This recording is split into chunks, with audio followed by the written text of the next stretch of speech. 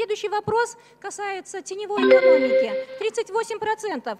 А вот какой уровень доля безналичных расчетов в общем снизилась или увеличилась доля безналичных расчетов? Потому что мы принимали дополнительные законы.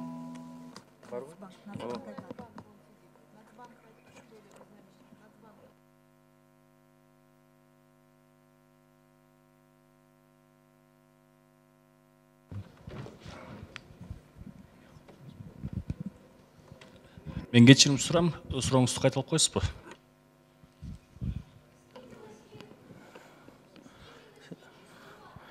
айнұр оточин уақытыңыз бүтіп қалды бұл азыр эми ошол жөнүндө айтайын деп аткам мен да Э, жок бул айтып атпайбы кечиресиз укпай калып турмун депчи. Өкмөттүн мүчөсү. Эми кандайды ойлойсуз күнөө кимде? Безналичный расчеттордун көлөмү өсүп жок мен сизге суроо берип атам да тактоо иретинде укпай калып турмун деп атасыз мен жана да эскертип кеткем күнөө кимде деп ойлойсуз менде?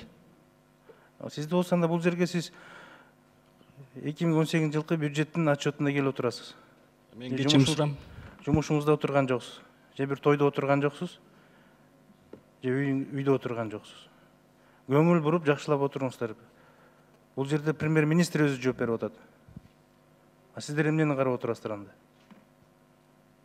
Мухаммед кылычбекович шалакалык мына ушудан башталат айнура точиловна он секунд берем сурооңузду кайталап койсоңуз Э, Снизился или увеличился удельный вес безналичных расчетов за 2018 год? удельный вес безналичных расчетов увеличился количество карточек в обращении и в целом объем безналичного оборота увели- увеличится из года в год Хорошо, спасибо.